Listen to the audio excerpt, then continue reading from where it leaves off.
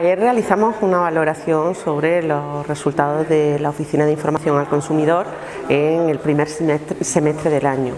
Podemos decir que son resultados muy satisfactorios porque una oficina que cumple ya 33 años de funcionamiento eh, dedicada a eh, procurar eh, formación, prevención y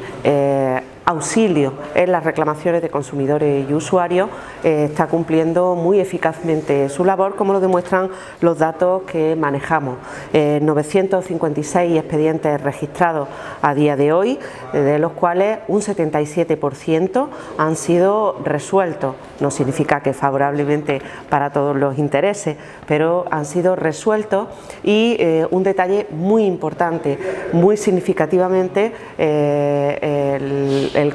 la gran mayoría de esos expedientes han sido resueltos a través de la mediación, es decir, que la oficina del consumidor se antepone a las reclamaciones judiciales o mediante eh, el procedimiento de arbitraje que también eh, ofrecemos y por tanto ofrece una solución mucho más satisfactoria para la ciudadanía. Hay que decir que 78 están actualmente mediándose para su resolución y que 134 eh, de esos 956 expedientes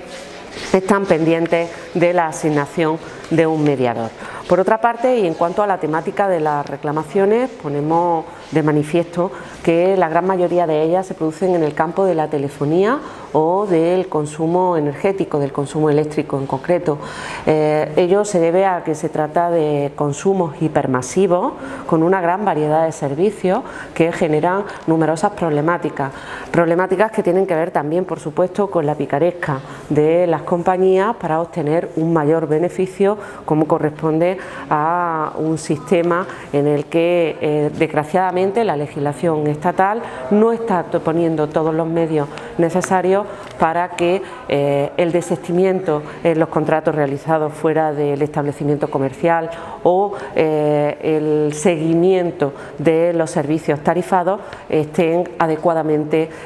inspeccionados y regulados. Eh, por ello, tratamos de evitar que esas situaciones perjudiciales para el consumidor eh, supongan aún más perjuicio con un procedimiento largo y costoso, pero además tratamos de prevenir. Y en este sentido destacamos la puesta en marcha en este semestre del de, eh, aula de formación, el aula de consumo un aula que se dirige a los centros de enseñanza secundaria y que trata de formar a profesorado y alumnado en un consumo responsable, un consumo que eh, procure hacer eh, feliz a la gente a través del el disfrute de los servicios y no de una ansiedad por el propio consumo en sí. Eh, un disfrute de servicios que pasan por una prestación adecuada de los mismos, por una exigencia como consumidores y sobre todo por conocer cuáles son eh, los mecanismos